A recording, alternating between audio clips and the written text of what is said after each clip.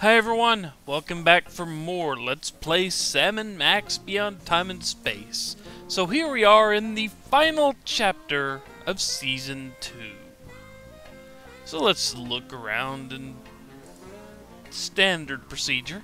Why can't every belief system have a transit system this efficient? That's a pretty good question, actually. Poor Bosco. The shock of seeing time-traveling mariachis was too much for his heart to take. Stress-induced heart attacks are the second most common cause of death for conspiracy freaks obsessed with alien abduction. What's the first? Unexplained organ removal. Indeed. Whee! This is what happens to babies that get thrown out with the bathwater. All those times on the mariachi spaceship when you saw only one set of footprints, that was when I carried you. Oh, for heaven's sake! And we got rid of Featherly. Hey, what are you guys working on over there? You surface dwellers just wouldn't understand. Surface dwellers is actually one of the nicest things we've been called. True, true. Okay.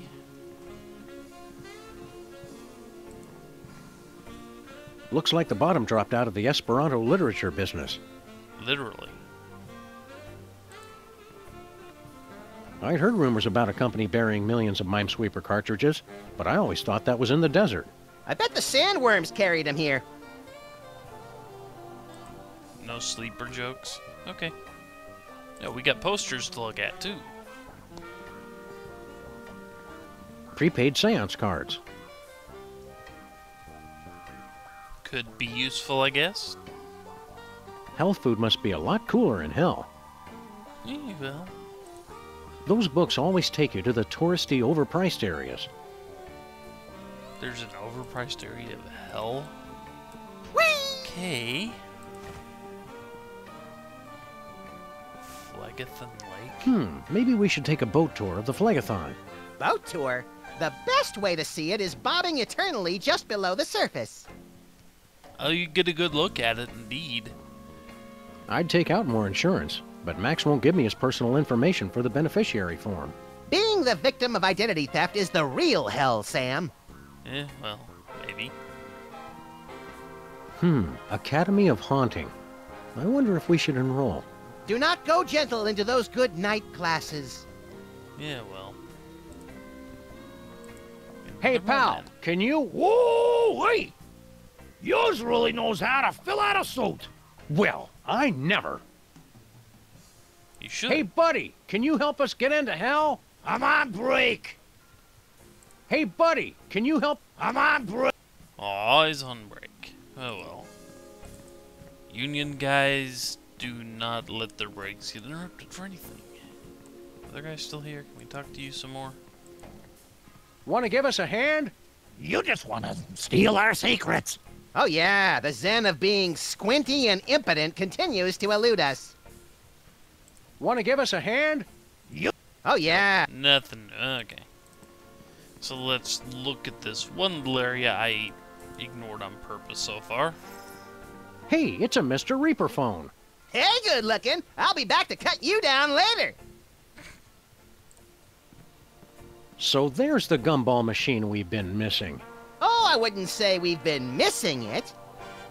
What, your aim's gotten better? Anyway, Aw, cute, Max. It's a little goth mole man. Token. with Token aggressive mole man? So now we're underrepresenting the mole man demographic? I thought we were just insensitive to women and minorities. No, you need a token. Aw. You've ruined my big entrance. Wait, Harry Moleman? In a past life, yes. Now I am become death. Great, you can talk to Rincewind. We want to take the next train out of here. Nobody gets on board the Soul Train without a token. How do we get one of those? You automatically get one when you die at your appointed time. Hmm. Oh, cheer up, fellas. You'll be dead soon enough. That's not reassuring. How do we get a token again? You automatically get one when you die. But it has to be your time. So don't try jumping the turnstiles with any murder-suicide pacts. Nuts. Yeah, you knew that's what Max would immediately think of, huh? What are you doing here? Didn't you hear me? I'm deaf. Wait, hang on. Ah, false alarm. Tumor was benign. How did you get to be deaf? Hell's been on a big corporate efficiency kick lately. They're passing the savings on to me. They've been outsourcing the coolest jobs, and I underbid the last guy. Have you seen Bosco's soul lying around anywhere? Bosco. Hmm, Bosco. Now, is that his first or last name? Yes. We never asked. Or cared, really. Well, the last soul train came through about 30 minutes ago, so he's probably already in hell. Hmm. How do we get to hell? Well, you have to take the soul train. Naturally. Your final stop depends on what's in your permanent record. But uh, if you two are trying to get to hell, that uh, really shouldn't be a problem. See you later, Harry. Maybe sooner than you think. Yeah, that's ominous, but expected. And Sam and Max wanting to go to hell? Yeah, that shouldn't be a problem in the least. Let's get out of here for the moment, since we've got to go find a token. Or at least fake our death, like Rincewind did.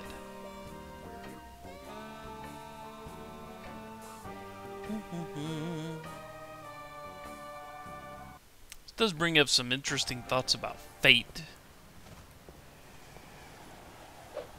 How'd we end up on our own street? You mean we've been living over the gateway to hell all this time and never took advantage of it? Our condo association is going to be receiving a very stern letter about this. I'm pretty sure they would have enjoyed knowing that. Oh well. We've got the car here. Seems like a waste to take the car anywhere when there's public transit downstairs. And look at all the decals we've got. We will add, we will be able to add to those this chapter, just not right now. But let's take a peek and see what Sybil's doing. See how we can take advantage of her new profession this time. Loading. Oh, Sam and Max, you're here. I've been dying to tell you.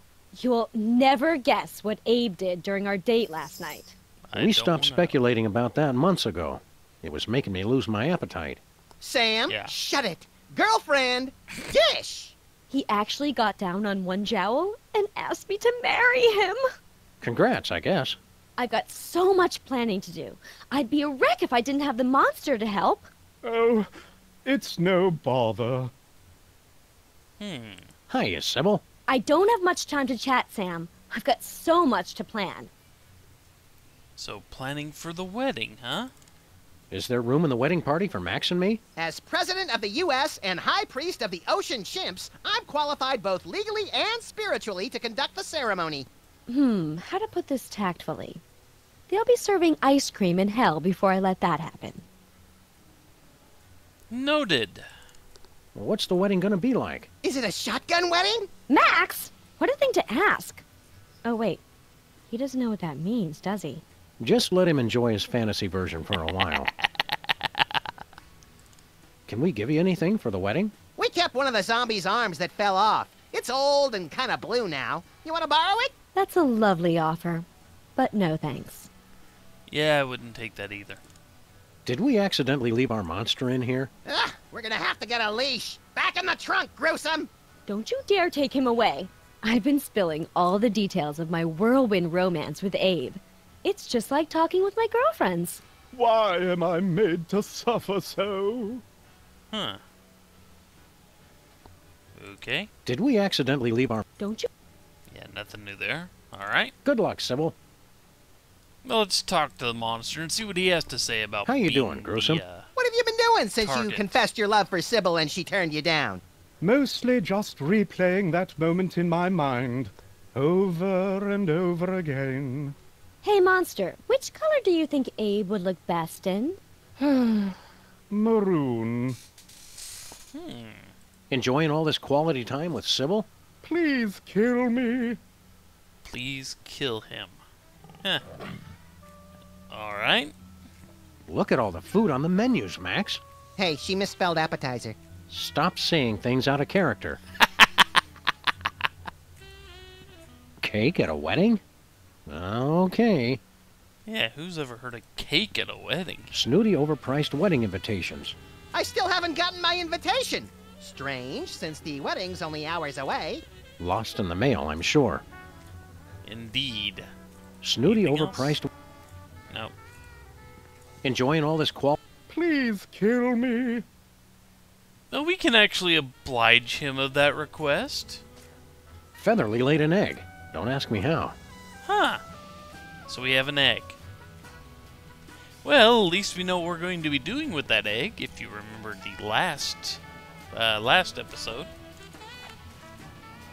So let's oblige Jurgen's monster here. Don't judge me for this, Max. It's for his own good. Bless you.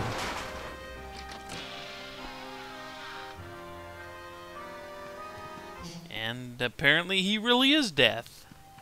He's coming All to right, check on the monster. monster. Monster. Hmm. I've never handled a monster before. I'll have to figure out how this works exactly. He's lost in thought. It's not easy to condemn a guy with no soul. Yeah, He's dead. But I'm sure he's used to that by now. probably. Well, let's break the news to Sybil. So let's poke at the intercom. again. Nobody's home. Nobody's home. Oh, that reminds me. I need to go down to Balls R Us. Right now it's two balls for the price of one. I don't want to know what type of ball. So, Monster, I was thinking of using. Oh, did he die again? I'm up. I'm up. Well, He's that cures alive! gunshots. I don't have time for this. Huh. So Harry will come check on the monster if he dies. Interesting. Why do you keep bringing the monster back to life? Oh, he's not dead. He just needs a little jolt now and then. I don't know what I'd do without him. He's. He's my rock. Really? You just don't know how nice it is to be able to just talk to a man with absolutely no romantic attraction at all. Ouch. Yes, of course. Ow. Wouldn't you like to just let the monster stay dead a while? There's just too much wedding planning to do right now. He can sleep during the honeymoon. Good luck, Sybil. I don't really want to think about your honeymoon to Lincoln's head. Just really, really don't want to think about that. Oh, hey, the fox had bridal accessories on. Hmm, they're closed. Closed, huh? Let's see what the cops are up to. Hiya, cops. Hello and welcome to Pimp the Car. Ah, Bluster Blaster's still broken. What car upgrades are you offering this time? Turn your vehicle into a super fast nitro burning funny car for a limited time only. Offer and Sunday, Sunday, Sunday.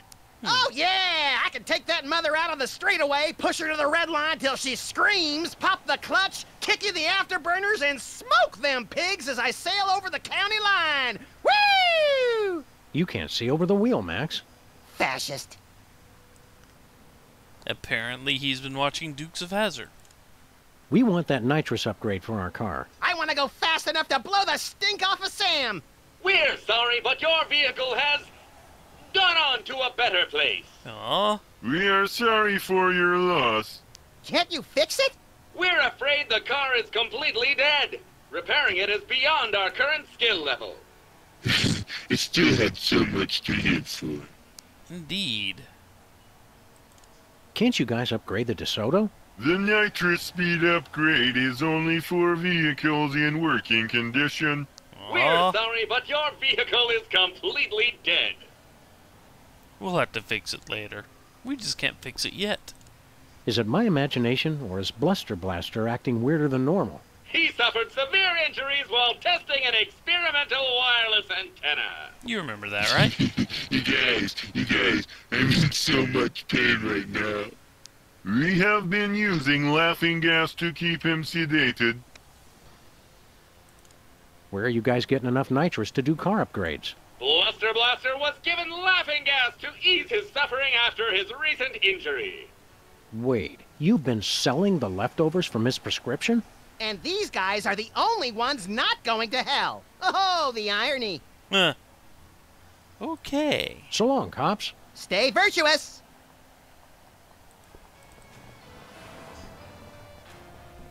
Yeah, so far not much. Wait, that's a ghost. Mrs. Mama Bosco? That's Ms. Mama Bosco. You think just 'cause I'm dead you don't have to respect my independence? How'd you get to be a ghost? I don't know. I was sitting in my apartment when all of a sudden there was this explosion. I don't remember hearing or causing an explosion. It was a great big geyser of vinegar and baking soda. Except, you know. Wait a second. Where is your apartment exactly? On the second floor above the store, fool.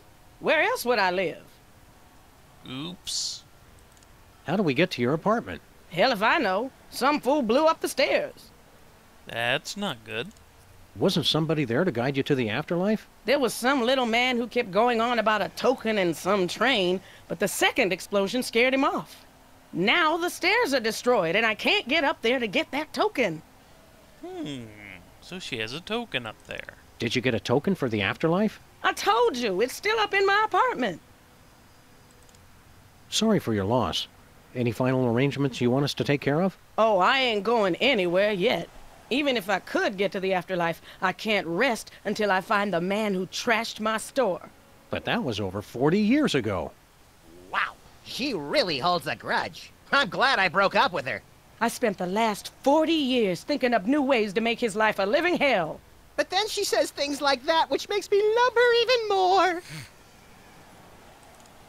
This guy who trashed your store, what did he look like? I never got a good look at his face, which is why I hired that PI to track him down. But I remember he was about six feet tall. Like Bosco. Yeah, and he had big, bulbous forearms. Kind of like Bosco's forearms. Right. And he was kind of balding, with skin that wasn't quite purple, but sort of... Bosco colored? Yeah, you could say that. Have you two seen the guy? We haven't seen anyone who fits that description, ma'am. At least no one alive, anyway. Have you seen Bosco lately? Not as much as a mother likes, no.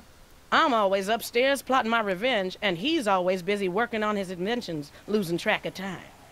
That's why I send him an alarm clock every Christmas. Well, you'll get to see more of him now that you're both dead. Let's not bother the poor woman any more than we already have, Max. Don't go into the light. Oh, I ain't going into any light until I find out who's responsible for this. Yep. Anyway, that's enough for this episode.